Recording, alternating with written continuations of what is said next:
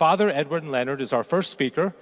And Father Edwin, of course, is the pastor of this parish and has been for about a year now. On June 2nd of this year, he's going to celebrate his 10th year as a Catholic priest. He has served at St. Rita Parish. Yeah, God bless you. He has served at St. Rita Parish. He's been at St. Michael the Archangel in McKinney. He's been at St. William the Confessor in Greenville. And also for seven years, he was vocation director of the Diocese of Dallas. And during that time, he was uh, able to help 80 men enter into seminary formation. He also went through the NET ministries, and he's just an amazing man, amazing pastor, and it's quite an honor for him to get us kicked off today. So, with no further ado, Father Edwin Leonard. Thank you, Father. I have a confession to make. I know that's a little bit backwards. Um, Catholic jokes. Um, so I have a addiction to coffee. I mean, it's it's bad. Every morning I have like a, a pre-coffee before, as I'm brewing my French press of coffee, and I am uh, I measure my intake of caffeine by uh, grams, not milligrams.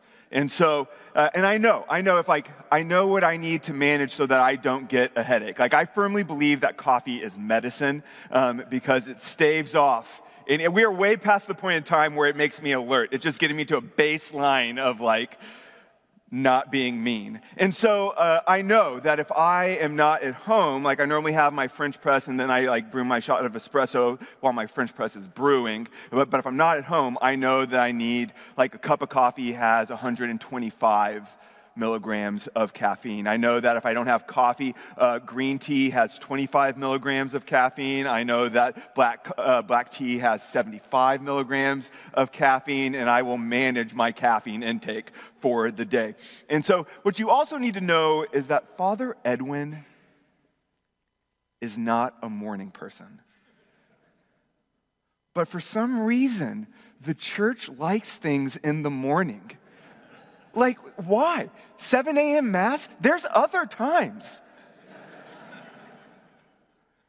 but I graciously get up and do this Mass. And so, as, as many of you may know, as Catholics, we believe that the Eucharist, the, the holy sacrifice of the Mass, where we receive the Eucharist, that it is actually Jesus. It's actually his body, his blood, his soul, and divinity. And so the church asks us, and just to notice this, to give a little head nod uh, that Jesus is present, it asks for us to fast um, before Mass. Now, it used to be that you had to fast from the entire night before, um, but we've kind of slacked off on that a little bit. Now you only have to fast an hour before reception of the Eucharist. So that means on Sunday, just don't eat as you're driving to church.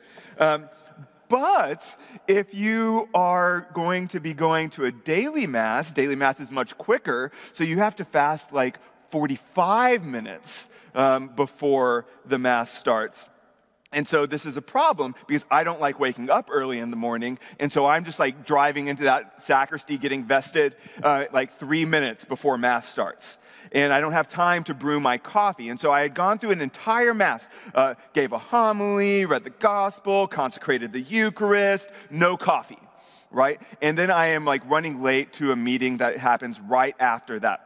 And so I, I am like, I take my shot of espresso, I'm waiting for my French press to brew, I'm already running late. And so I have like my coffee cup, my iPad, and my French press that I am like trying to run across the parking lot over here um, to the back door. But because it's so early, um, our, our doors have a, an electronic lock. And the electronic lock is in my wallet back here. And so, but here I am. I have my iPad, I have my French press, I have my coffee cup, and no hands to reach and get the pocket to unlock the door. And so I try to do this little thing where, like, I, I unlock by just getting the key card close. Didn't work um, because I would spill my coffee.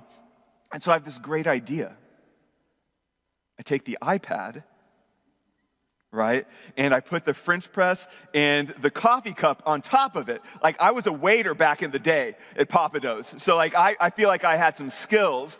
And so I, I take the, the French press and the coffee mug and I put it on here. I reach in my back pocket. I uh, zap the door. I unlock it. I open it up and I walk on through. And I'm just walking with this iPad um, as a tray and holding my French press thinking, man, this is a pretty good tray. Brothers, this is not a tray. Like, you can run the world with an iPad, right? You can, uh, you can do your taxes, you can read every book imaginable, you can take university classes, you can communicate from one end of the world to the other in seconds. And I was using it as a tray. That is not what this is for. It's a good tray, it functioned just fine. It met the needs of a tray. But it's not what it was meant for. That's what I think is the problem with the world today. In the world, we view men a certain way.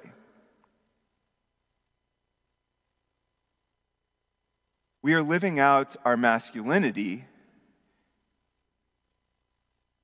so lowly. You are not a tray. Stick with me. You're an iPad. You are meant for more. The world tells us um, so often now that being a man uh, is, is bad, right? It, there's these terms toxic masculinity. It, it doesn't want you to be more masculine, it wants you to be less masculine. And I think that's a problem. It's a misunderstanding of who God created us to be. If you have your scriptures with you, which you probably don't, because hashtag Catholics, um, not going to get up on my soapbox today. Um, but I do want you to move in, into, your, into the Word of God and look at Genesis chapter 1, verse 27. It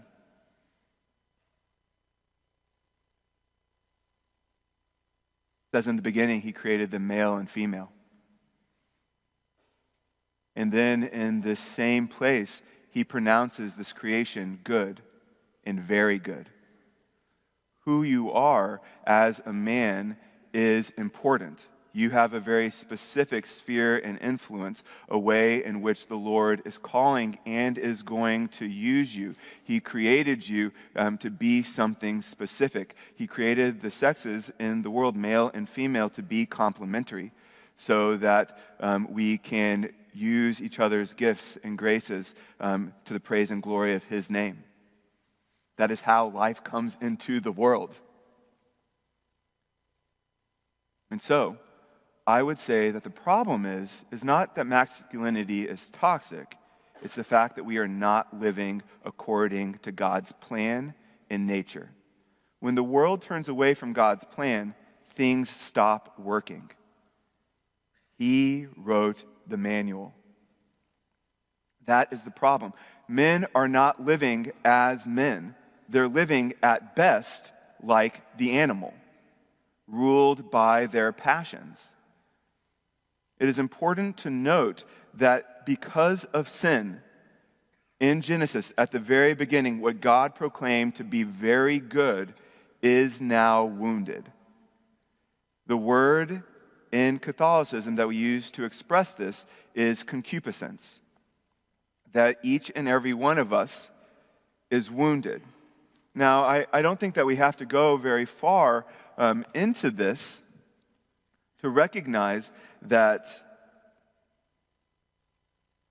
our hearts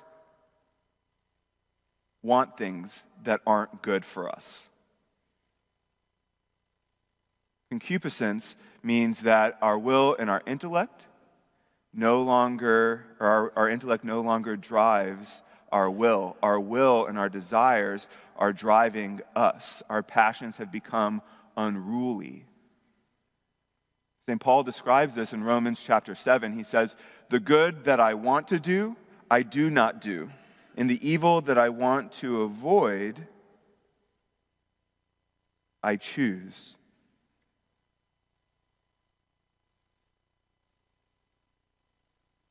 The problem is, is that we are living out of this weakness and woundedness.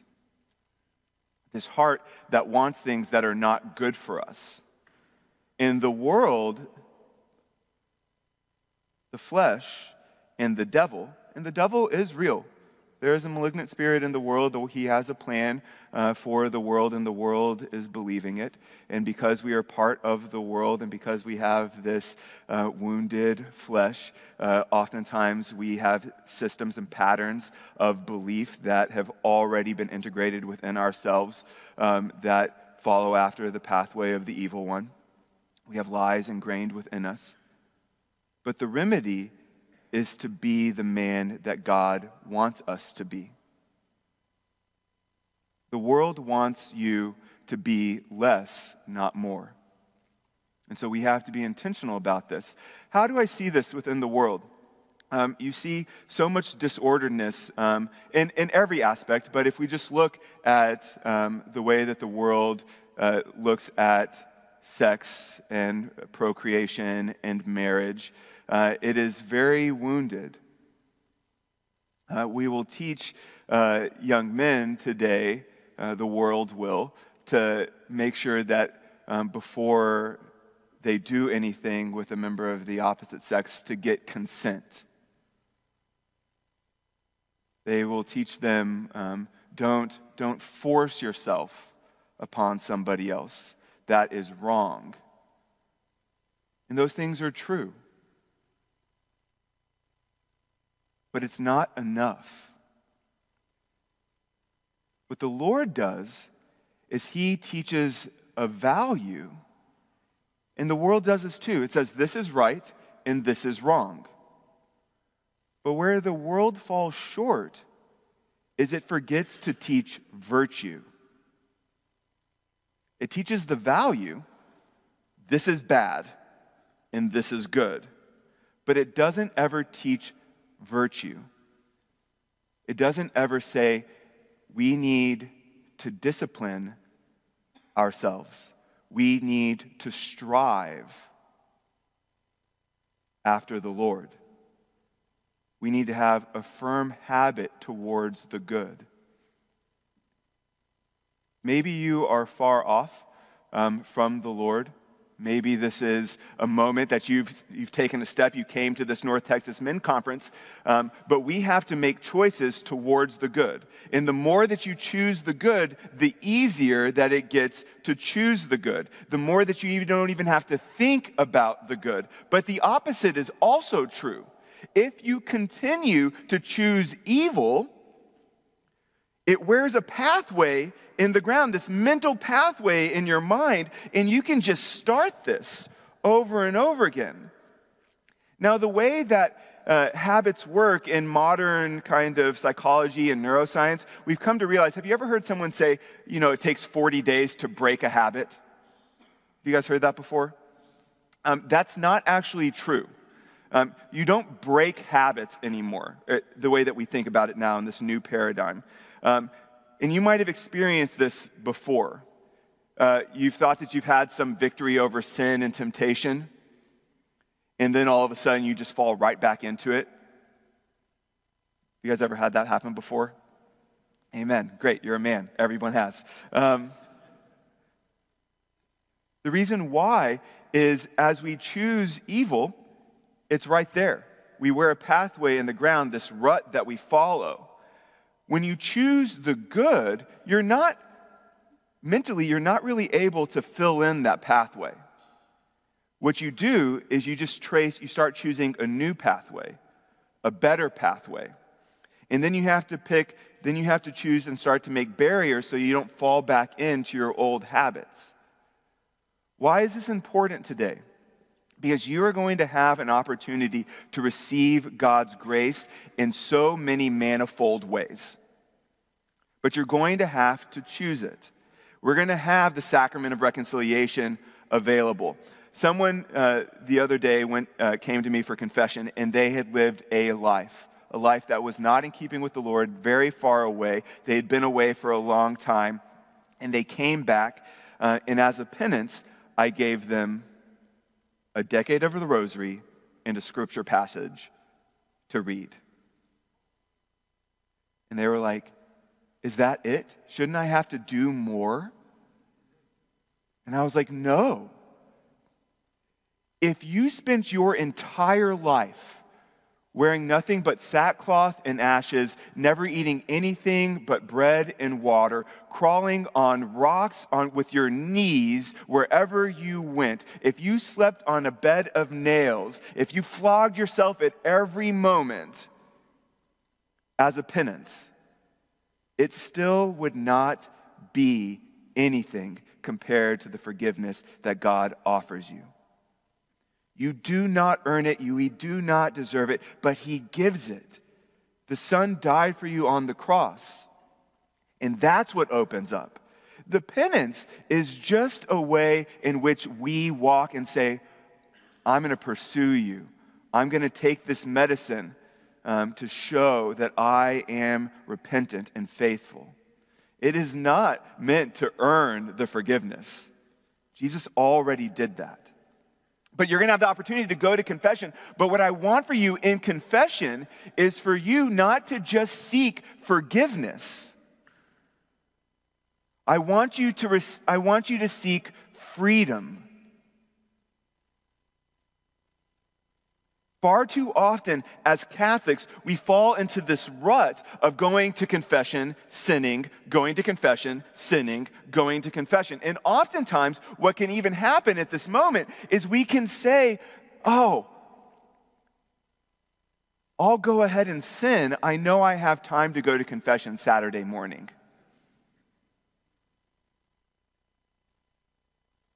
That is a lie from the devil.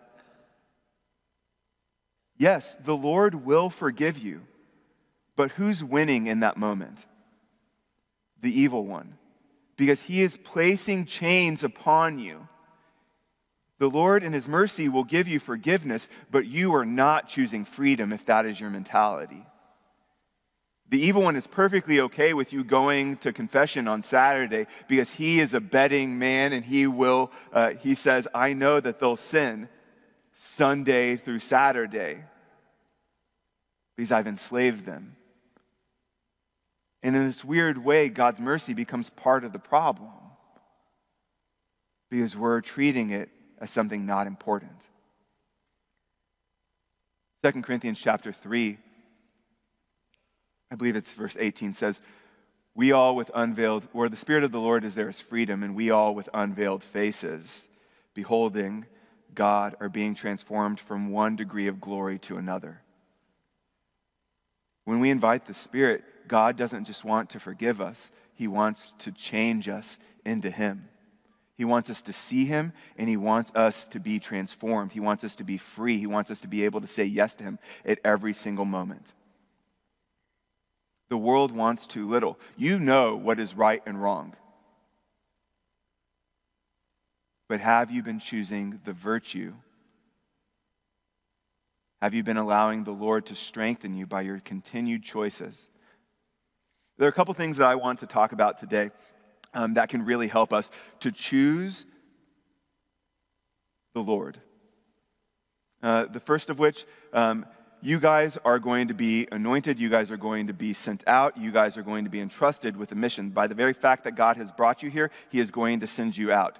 2 Corinthians chapter 1 says that the Lord of all consolation consoles us in the midst of our difficulties so that there's a purpose. The reason why he heals us, the reason why he helps us to overcome that wound of concupiscence, the reason why you know Jesus is yes for you, but he says, so that you, when you find somebody else in any difficulty, that you can console them with the consolation you have received.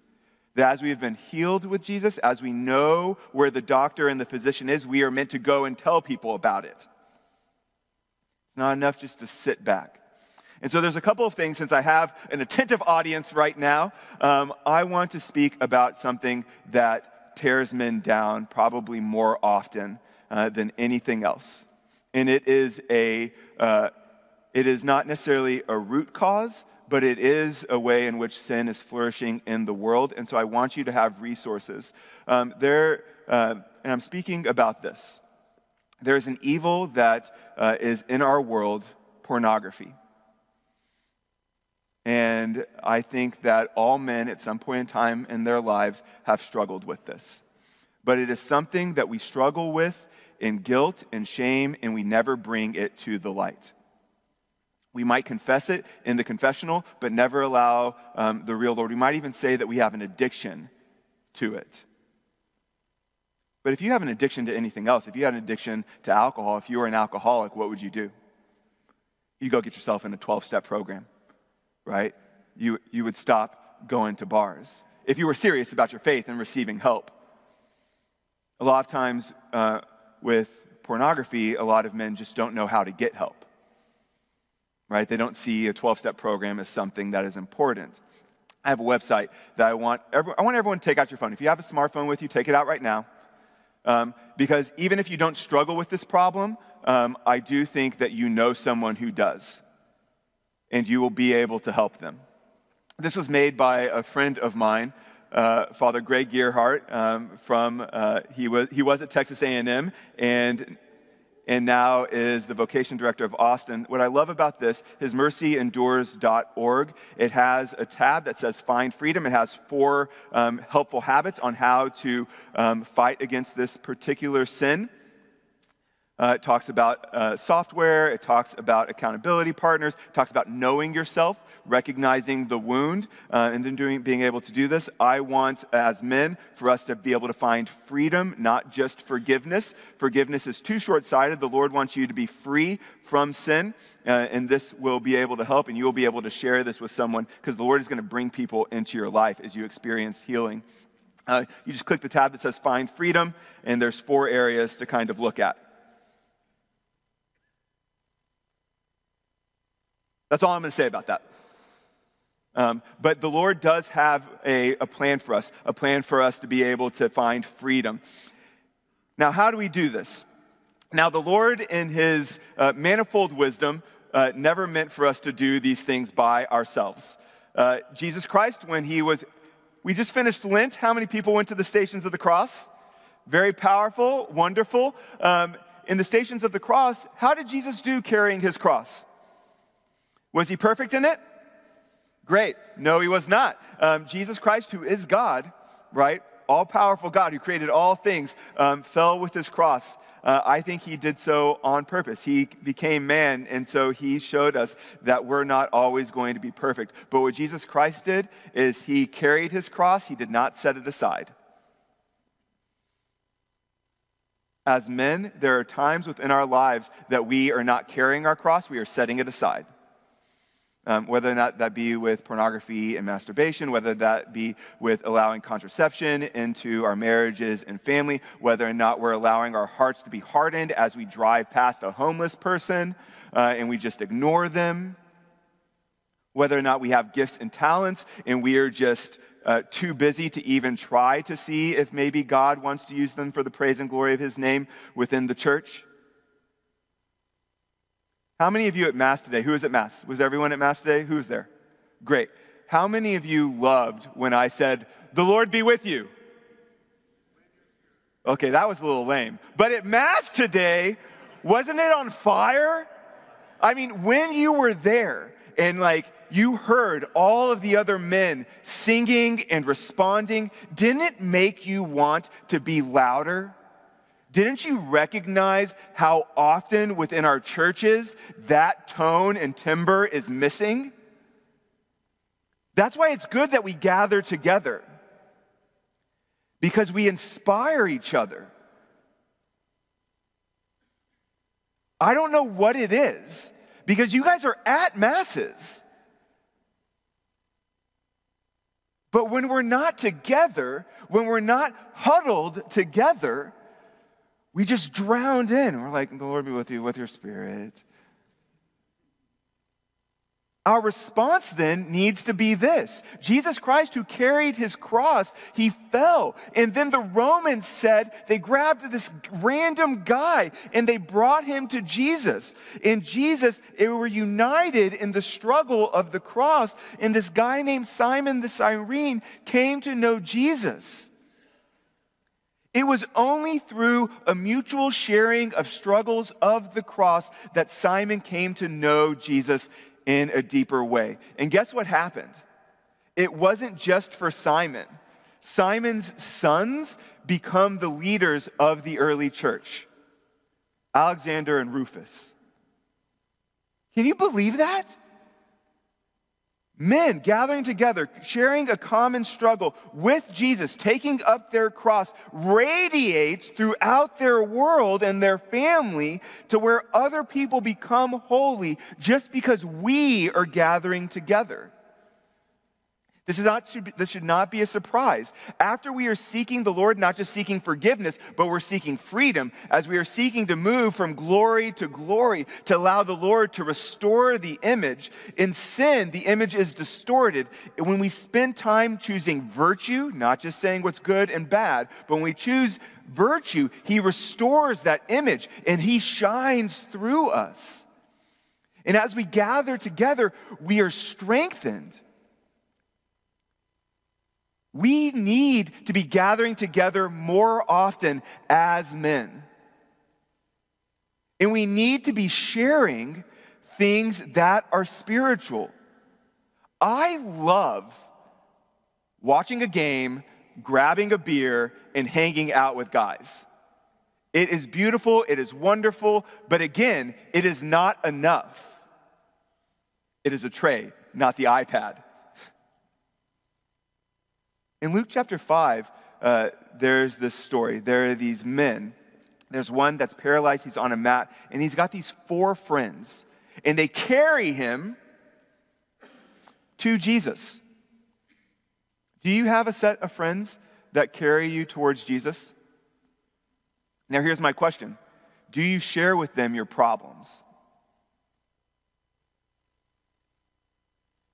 The four men knew that their friend was paralyzed. But far too often, as men, we don't want to let people know that we are hurting, that we are wounded, that we are managing sin and carrying a cross. We say, everything's good, I'm strong. How are your friends ever going to be able to carry you to Jesus if we are not being intentional about letting them see our weakness and vulnerability and intimacy. This is going to take an intentional choice because we don't choose it. And then, are we surrounding ourselves with men that are worthy of that intimacy and vulnerability? That when we share our wounds with them, that they're going to take us to Jesus. Now, if you are in this room and you're thinking to yourself, I don't think any of those men exist, they do. You might not know them yet.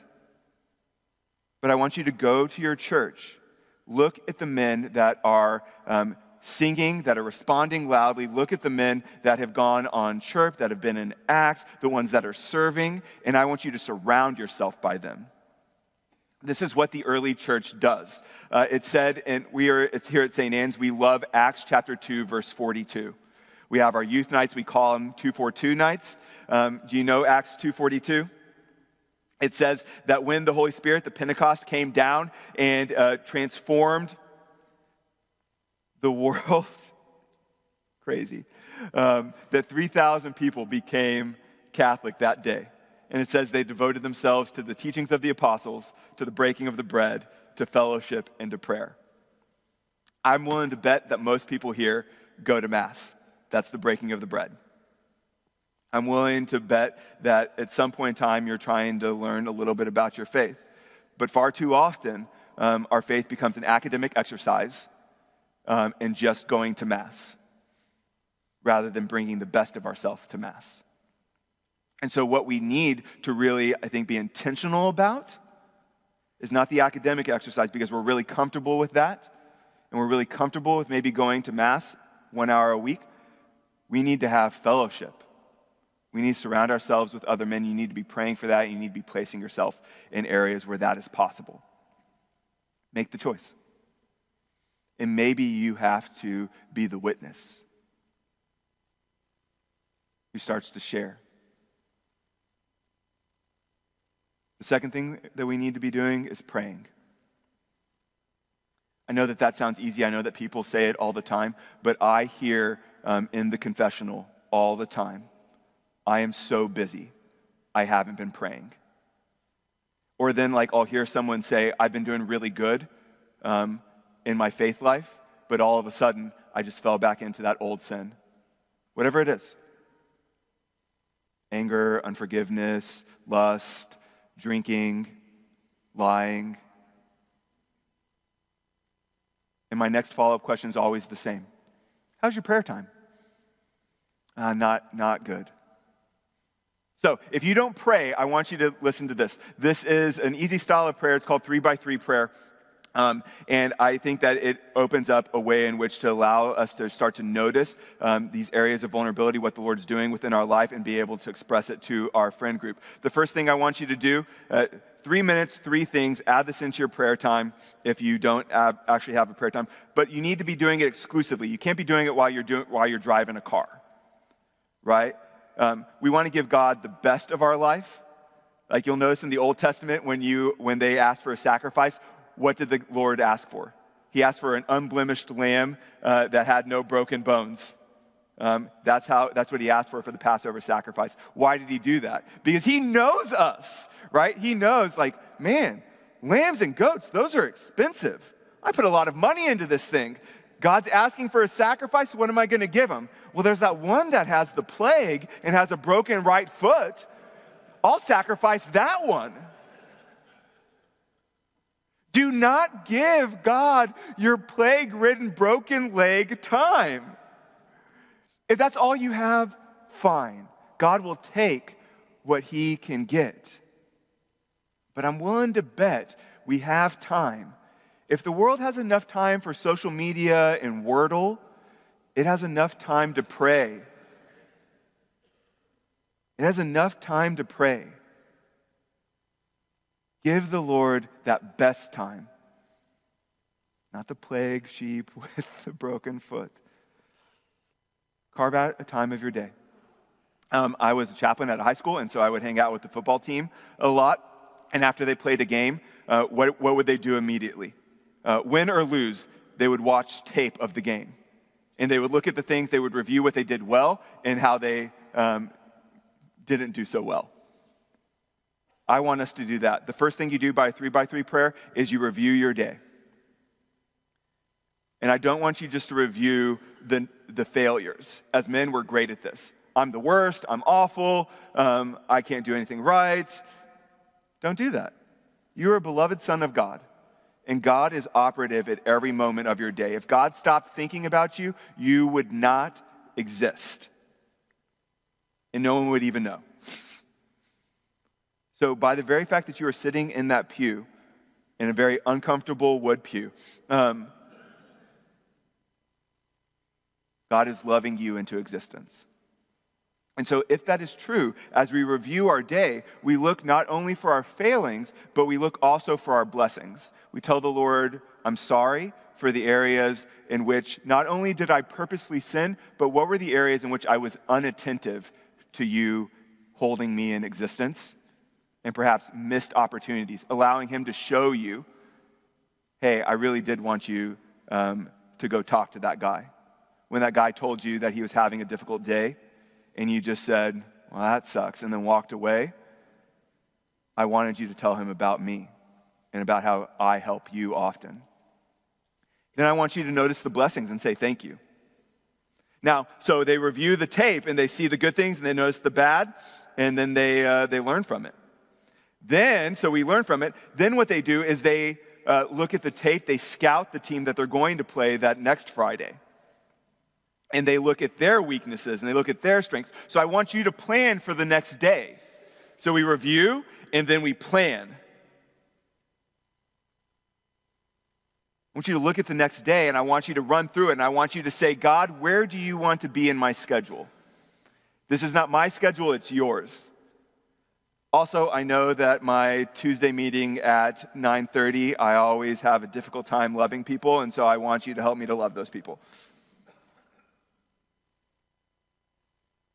I know that I have a difficult time uh, when I get home from work. I've worked all hard all day, and I know that I'm supposed to help take care of my kids and be there present, loving them, asking them questions, and all these things. But sometimes I just want to go off into a room and not t- talk to anybody and recharge for a little bit. Help me to live out my vocation in love. As we do this, you're going to find strength in the given day. And then finally, I want you to pray for the people that are in your sphere of influence. So we review, we plan, we pray. God has given you, as men, an area in which you have specific spiritual power and influence. First, your family, then your friend group, and then where you work in your church community. Pray into those areas, serve those areas, pray for them. Did you know that if uh, there's a multi generational study uh, that said that shows how important men are. And this is nothing new. The scriptures testify this all the time. Did you know that if um, a if the mother is the one who drives and pushes people towards religion, do you know what the likelihood that their children will receive the faith and follow Jesus? About 12 to 15 percent. Do you know what the percentage is if the father is the one that is the spiritual leader in the household. It's like 92, 95% that the children will have faith in Jesus. The world needs you. It needs you to be men that seek virtue, not just knowing the good and the bad. It's not enough to just know the good and bad. We have to seek virtue. It needs you to be men that seek freedom not just forgiveness. And it needs you to be together, which means that you need to be letting your friends and the people surrounding you searching for other men that can just enliven and make you on fire as we have been today at Mass. And we need to share. The way that we do this is purposely sharing our weaknesses. And we need to be aware of our weaknesses because we're going to the Lord every day allowing the Lord who loves us to shine light in that area. This is what it takes. The world needs men. The world needs us. The Lord created them male and female, and it is good. But sometimes what we're living is too little. It's not the tray, it's the iPad. You are meant for more. Choose it. And when you turn, you will find the Lord is already there. Amen.